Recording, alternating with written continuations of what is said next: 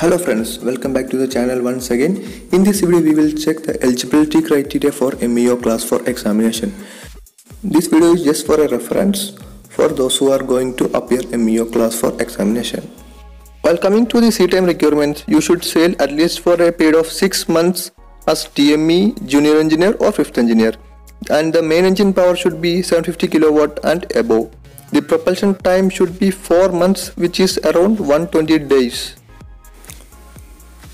While coming to the documents required, apart from the STCW certificate, you should have a completely filled TAR book, sea service letter from RPSL, sea service testimonial you will get from the ship, Form 3A from the company you will get, and a copy of sea service updated by the RPSL company in DG Master Checker.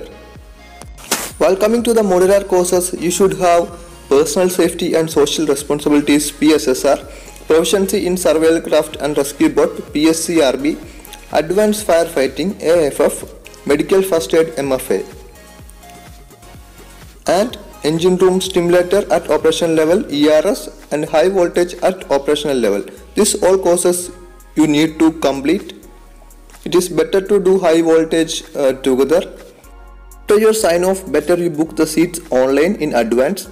It is always advisable to do the courses as early as possible.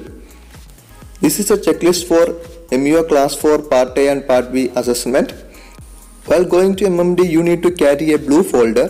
In that you need to give all the certificates copy um, as in the checklist. Make two separate bundles for part A and part B so that your work will be easy. I will be giving the link of this checklist in the description. From there you can easily download the uh, checklist.